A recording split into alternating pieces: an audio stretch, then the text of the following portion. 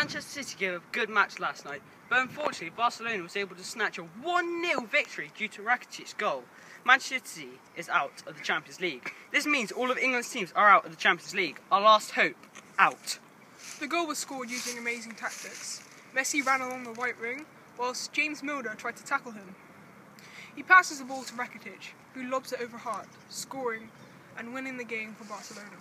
Now that Manchester City is out of the Champions League, there are no English teams now in the Champions League. Manchester City, Chelsea, and Arsenal got knocked out in the last 16 stage, but Liverpool didn't even make it through the group stages.